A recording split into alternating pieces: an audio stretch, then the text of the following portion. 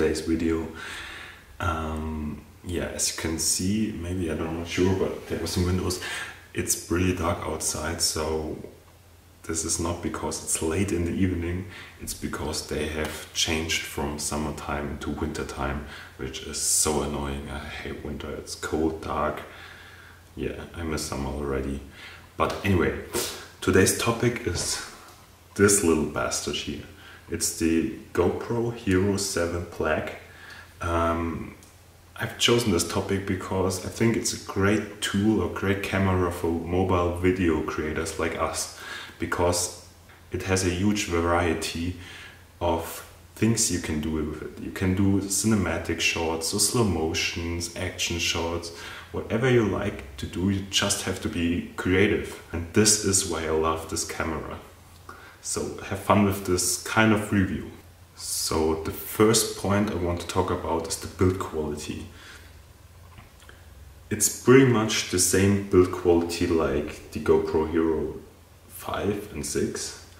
It's made out of this rubber plastic body um, which is quite solid and protects it if you drop it or somehow like this. So the normal action camera use.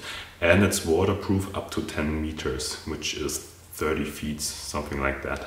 And it has the same lens cover change feature like the Hero 5 and Hero 6 so you just can turn the lens cover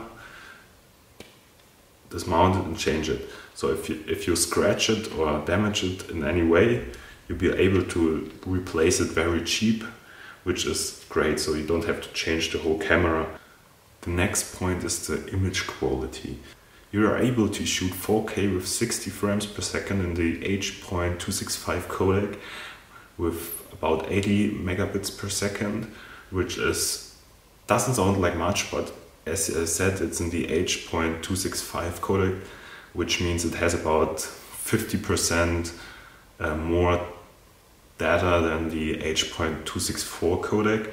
So it has very good quality for such a small camera and definitely enough, especially if you want to use it for YouTube because YouTube codec is bad.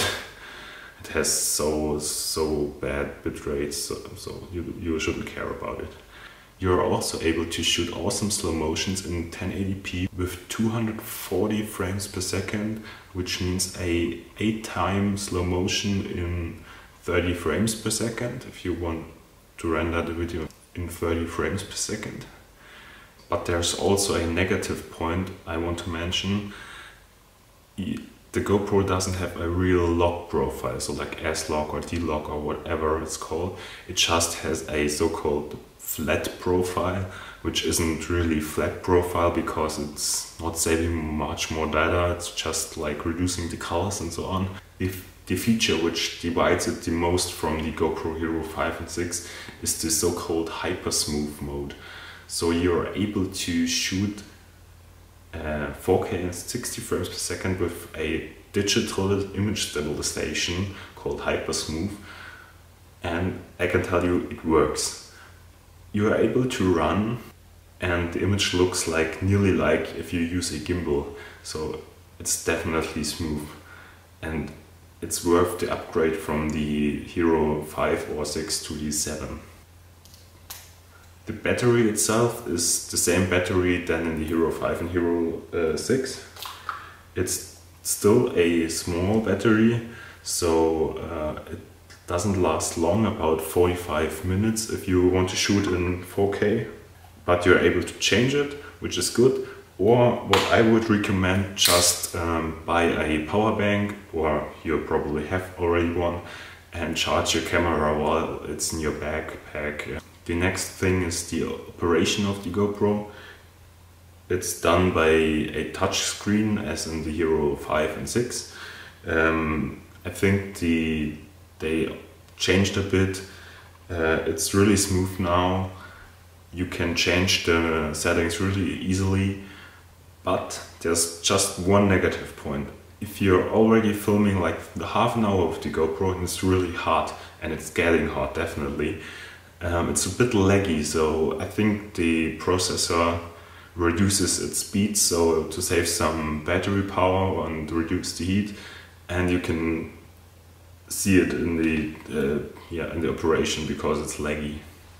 So this was my quick review of the GoPro Hero 7 Black. Yeah, it's 7 Black. Uh, too much GoPros already. Um, I hope you've enjoyed the video.